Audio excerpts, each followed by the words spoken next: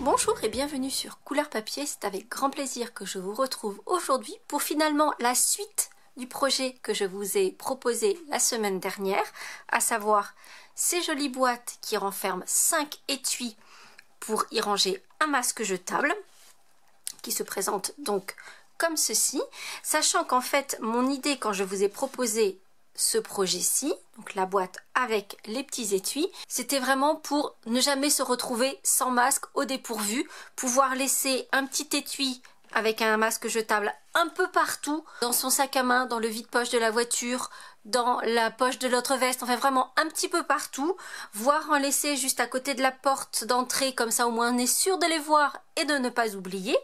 Mais comme beaucoup d'entre vous l'avaient fait remarquer en commentaire, ces petits étuis ne peuvent pas accueillir un masque en tissu qui sera beaucoup trop épais pour rentrer dans un tel étui. De plus, hormis être trop épais pour rentrer dans un étui comme celui-ci, un masque en tissu est voué à durer plus longtemps et plus écologique, donc forcément il va falloir un étui qui tienne aussi la route, qui ait une utilisation plus pérenne. Et c'est donc l'objet de notre rendez-vous aujourd'hui, pouvoir réaliser un joli étui qui, vous le voyez, est un petit peu plus grand, mais il reste facile à mettre dans une poche. Vous voyez, ça fait juste la largeur de ma paume, donc ça reste facile à mettre dans une poche, dans un sac à main, etc. Il est complètement plastifié, vous voyez que ça brille, donc évidemment, il sera beaucoup plus solide. Et à l'intérieur, on pourra y ranger masque en tissu. Et c'est donc ce projet-ci que je vous propose de réaliser ensemble aujourd'hui, sachant que je vais réutiliser nos petits surfeurs facétieux, mais vous allez voir, je vais détourner un petit peu l'ambiance, puisque ici, je suis restée sur une ambiance sport d'hiver, donc avec la neige et nos petits personnages qui sont en train de glisser sur la neige, je les trouve juste adorables, avec le flocon qui est là juste pour ajouter une petite touche. Il n'est pas, indispensable, mais je trouve que ça donne une petite touche supplémentaire qui est plutôt sympa. Et en fait, comme je vous le disais, je vais continuer à utiliser ce set-ci pour le projet que nous allons réaliser ensemble. Mais vous allez voir que nos petits surfeurs vont changer d'environnement. Vous allez le constater Réaliser cet étui est assez simple, mais comme c'est un étui qui a vocation à durer plus longtemps, du coup on va peut-être passer un petit peu plus de temps pour le décorer. Pour réaliser un étui, il vous faudra la moitié d'une feuille à 4, donc de 21 par 14,85, un morceau de papier murmure blanc fin, c'est suffisant, ça nous permettra de découper nos petits personnages, et il vous faudra du papier à motif Ici, j'avais utilisé le papier Joyeux Carreau. Vous savez que je les adore, donc en fait, j'en ai mis aussi au dos et sur les rabats intérieurs. Je trouve que c'est vraiment très joli, très élégant. Mais comme je vous le disais, pour celui-ci, on va les faire changer d'atmosphère. Et donc, je vais utiliser le set de papier Trésor de l'océan. Et en fait, au lieu de surfer sur la neige, ils vont surfer sur la mer. Bon alors bien sûr ils sont équipés de bonnets et d'écharpes, mais vous allez voir qu'on va changer les couleurs, ce sera moins hivernal et tout de suite ça leur donnera un petit air un peu peps. Et donc en l'occurrence les papiers de cette série que je vais utiliser, c'est d'abord celui-ci, comme s'il y avait des rayons de soleil qui passaient à travers l'eau, j'aime vraiment beaucoup.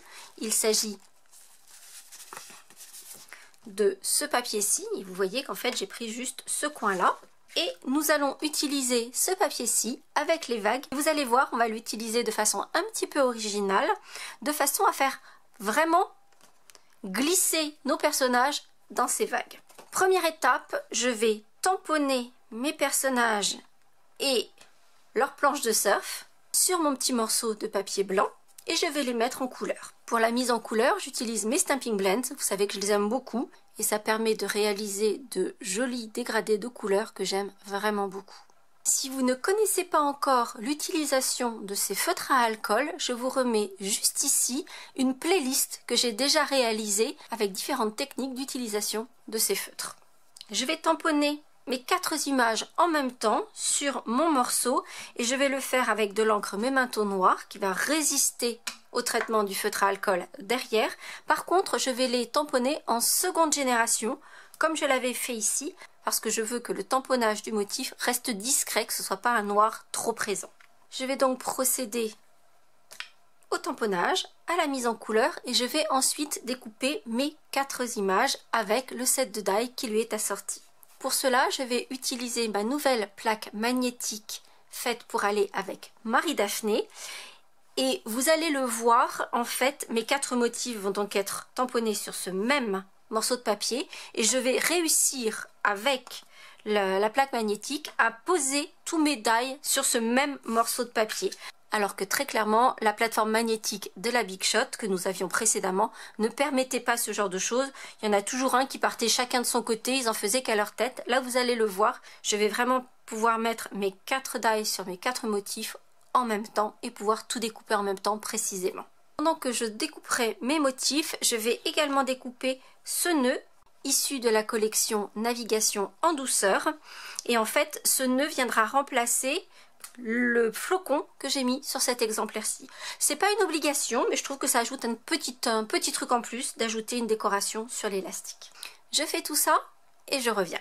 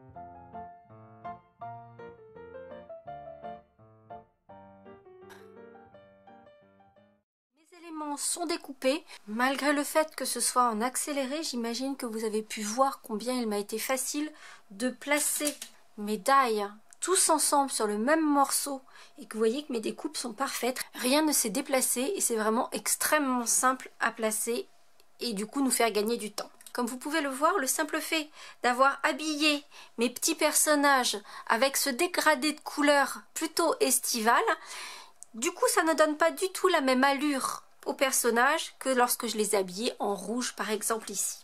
Les nœuds, comme je vous le disais, sont voués à venir sur l'élastique et on viendra les coller les uns par-dessus les autres pour faire une épaisseur suffisamment importante et que du coup la décoration ne soit pas trop fragile quand on viendra mettre notre pochette dans la poche du manteau ou dans le sac. Nous allons maintenant nous occuper de la base proprement dite de notre étui. Ici, c'était donc en bleu nuit. On va donc avoir quelques lignes de marquage à faire sur notre demi-page A4 et vous allez le voir, c'est assez simple. C'est-à-dire que sur le grand côté, on va marquer le papier à 10 et à 11 cm et sur le petit côté, on va marquer à 10 et 10 et demi. Et on obtient donc un marquage comme ceci. Première chose, on va enlever la petite bande centrale et le petit rectangle qui se trouve là au milieu sur la bande la plus étroite. Et on va ensuite arrondir les angles de part et d'autre en haut et sur les rabats qui sont en bas, on va le faire sur les deux extrémités.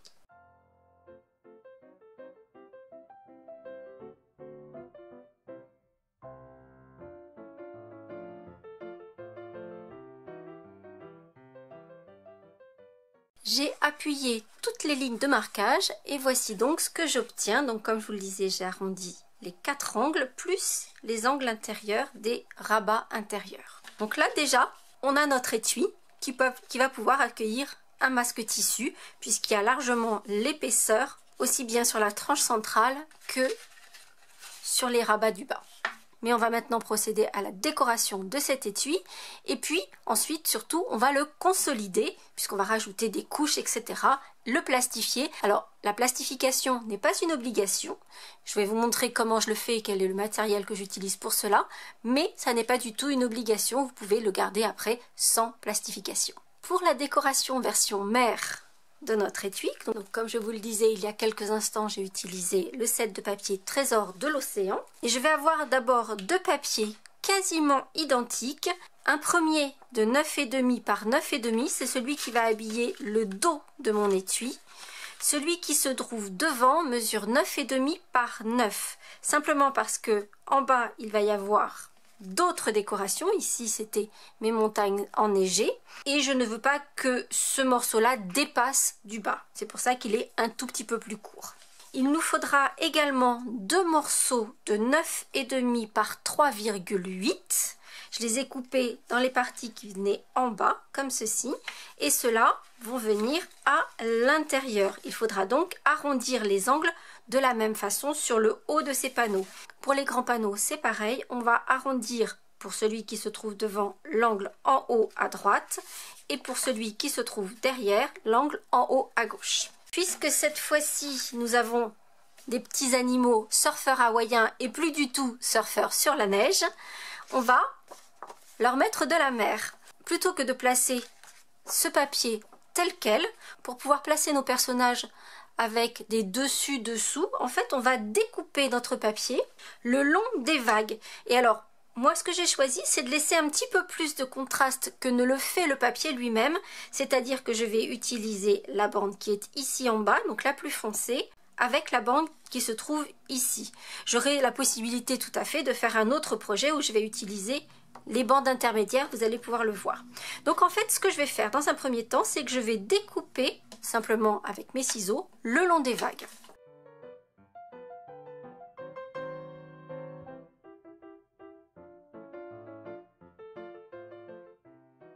Une fois que vous avez fait vos découpes le long des vagues, vous allez placer vos deux morceaux l'un contre l'autre et vous allez voir où vous devez couper le morceau le plus haut pour qu'ils viennent se superposer l'un contre l'autre.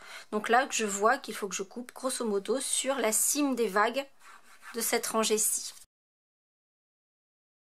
Et j'obtiens donc mes deux rangées de vagues avec ce contraste de couleurs. Et je vais donc ramener ces deux rangées de vagues à 9,5. Et cette fois-ci, on va pouvoir installer tout notre petit monde. Ce qui veut dire que le grand morceau carré de 9,5 par 9,5 va venir au dos de notre étui. On n'oubliera pas d'arrondir l'angle. Celui qui est légèrement moins haut, donc de 9,5 par 9, va venir sur le devant de l'étui. Et on viendra placer nos rangées de vagues en bas du ciel. Mais avant de coller ces morceaux-là, on va venir placer nos, nos, personnages dans les vagues de façon à ce que leur planche de surf puisse passer éventuellement derrière les vagues comme ceci et vraiment donner l'impression qu'ils sont en train de surfer dans les vagues. Les deux morceaux étroits, quant à eux, viendront sur les rabats et à l'intérieur, donc attention à les placer dans le bon sens et toujours en prenant soin d'arrondir les angles avant de les coller. Je fais tous mes petits collages et je reviens.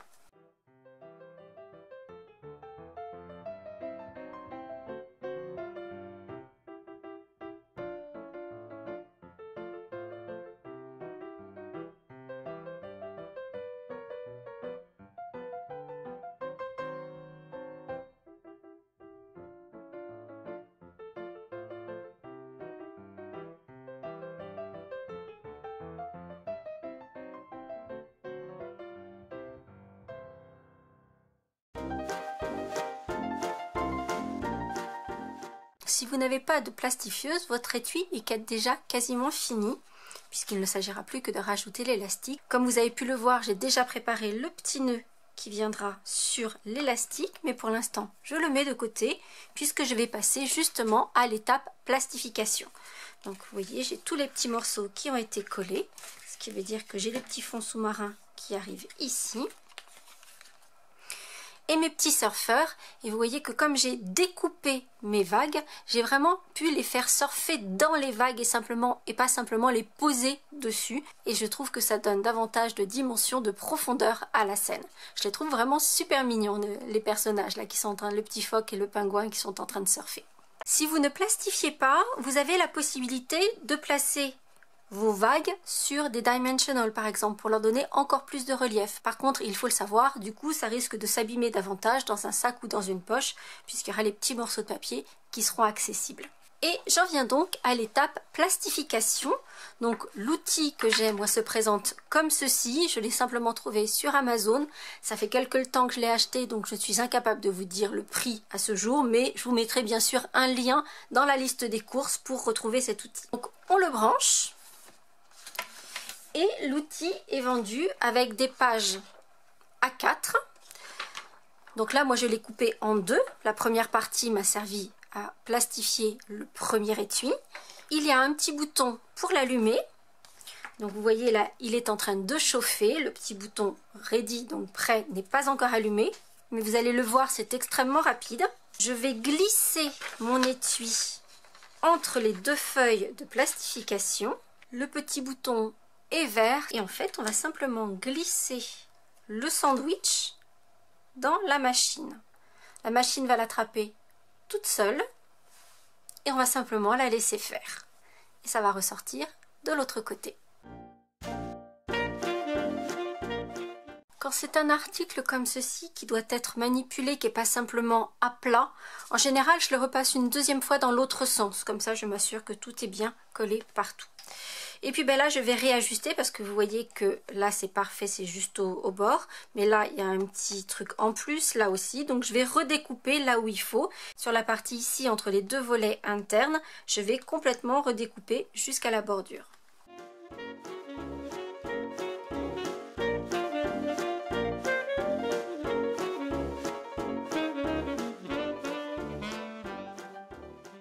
Je vais ensuite prendre une règle mon outil touche à tout avec le petit outil stylet en place et je vais simplement repasser les lignes de pliure qui font charnière pour que mon étui puisse se refermer.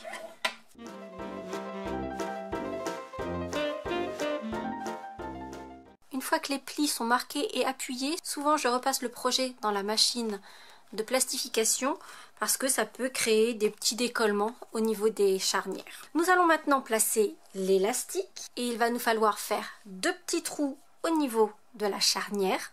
J'utilise ma perforatrice à main qui n'est plus disponible chez Stamping Up mais peut-être que vous avez vous aussi ce type de pince perforatrice que nous avions chez Stamping Up ou peut-être que vous avez une crocodile par exemple et on va faire deux petits trous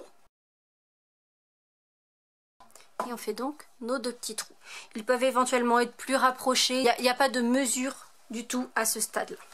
Pour l'élastique, vous allez pouvoir aller chez votre mercière chercher de l'élastique rond comme ceci. Mais là, j'ai encore une petite astuce pour vous. C'est que dans mon cas, j'ai recyclé les élastiques des masques qui ont été portés. Donc je vais simplement tirer dessus et récupérer les élastiques des masques qui sont usagés. Et je vais utiliser un pistolet à colle chaude, placer l'élastique dans les petits trous. En plus, ça tombe bien parce qu'ils sont tout plats sur les extrémités et c'est exactement le bon format, la bonne longueur dont nous avons besoin. Donc c'est impeccable. Donc je passe mon élastique et je vais mettre un petit point de colle chaude de chaque côté les maintenir en place. Toujours à l'aide de mon pistolet à colle chaude, je viendrai ensuite coller ma décoration en relief sur l'élastique.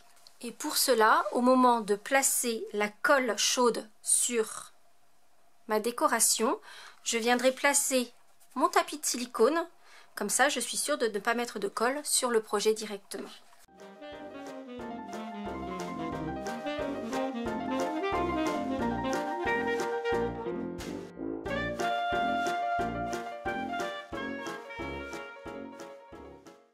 Reste une toute petite dernière étape qui reste facultative, c'est de faire une petite encoche ici pour que l'élastique reste bien en place.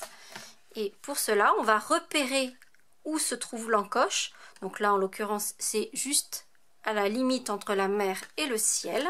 Je vais prendre ma perforatrice trio et là, je ne vais pas arrondir l'angle, mais je vais utiliser ici cet ovale